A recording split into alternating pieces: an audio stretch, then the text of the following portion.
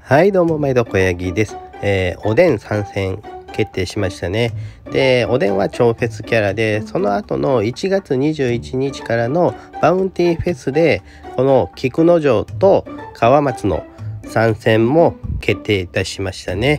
で川松が赤属性ディフェンダー。で菊之丞が、えー、青属性アタッカーですね。楽しみですね。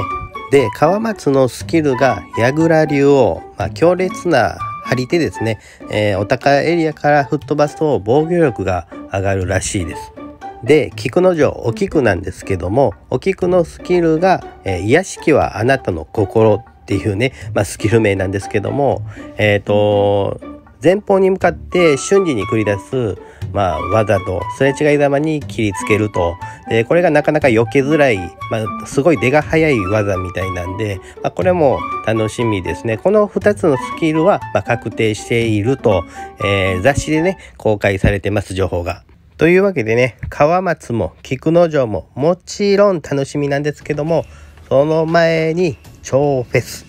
超フェスの光月おでん。これを、まあ、いかにゲットできるかというところでね、はい、おでんのね PV も公開されてます。でここにね、えー、川松とお菊も映ってたんでまああの雑誌読んでない方もなんとなく実装は分かってたかなと思うんですけれどもはい。おでんね多分ぶっ壊れというかね旗抜いた時にねあのこの緑のエフェクトね回復おそらくしてるんじゃないかと。で緑属性のゲッターということは確定してるんでまあ回復の特性持ちの、えー、ゲッターなのではないかと、ぶっ壊れキャラなのではないかと予想されます。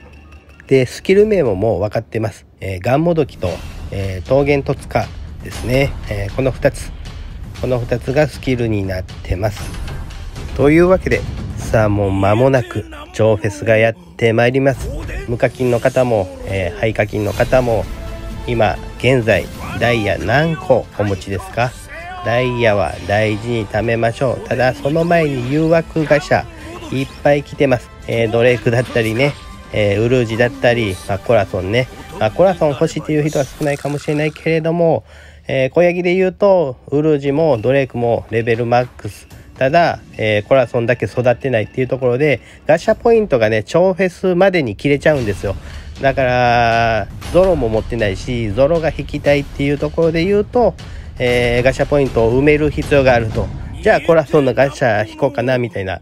いやいや、待ってよ、超フェスまでダイヤ置いとかな。っていう感じなんですけど、今800個ぐらいあります。それでも小ヤギはめちゃくちゃ不安視してます。なので、皆さんもね、えー、まあ、500個、600個、700個と、より多く持ってる方が安心安全だと思うので、えー、ガシャね、無駄引きはできるだけ避けて、えー、まあ、